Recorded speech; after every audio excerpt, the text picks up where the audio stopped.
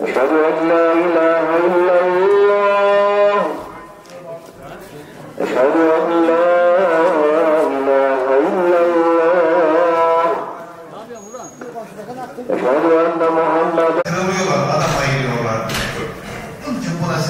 vermeyelim. Allah'a şükür çok çok çok güzel bir adetimiz var. Mevlam dünya durduğu müddetçe bu adetimizi devam güzel. Bu adetleri yaşamayan, bilmeyen bunun ne kadar kıymetli, değerli olduğunu bilemez. Ben bunu yaşadım sene. Ne böyle güzel bir toplanmamız vardı. Ne efendim tepsilerimizi alıp gelmemiz vardı.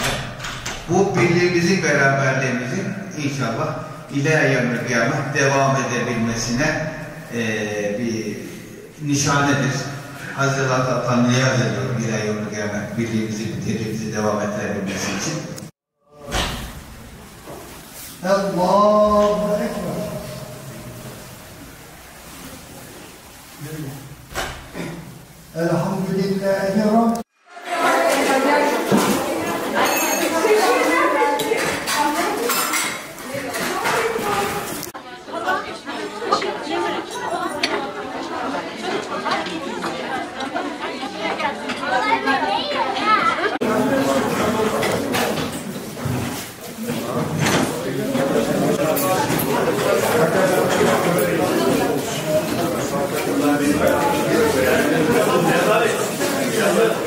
İsmim Turgut Yerlikaya, Yazıören Köyü Cami İmam Hatibi. Bu geleneğin ne zaman başladığını bilenimiz yok. En yaşlılarımız dahi bilmiyor. Birliğimiz, beraberliğimiz burada tescil ediliyor, temsil ediliyor.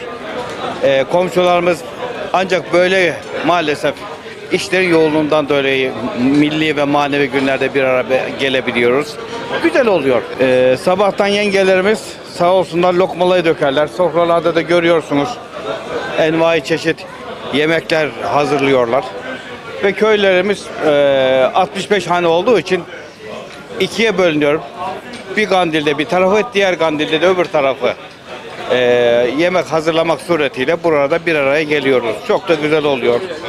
Bizim çocukluğumuzda eee, çok iyi hatırlarım. Cebimize tahta kaşıkları koyardık. Caminin önüne gelirdik orada mumların ışığında. Tabii ki şimdiki gibi elektrik yoktu. Ta o zamandan beri ben hatırlarım. İnşallah yaşlılarımızdan da bu geleneklerin, göreneklerin ne zaman başladığını bilenimiz yok. Ailelerin çalışmak mecburiyetinde olduğundan dolayı maalesef o geleneklerimizi, göreneklerimizi kaybediyoruz. Keşke kaybetmesek. Çok güzel olurdu.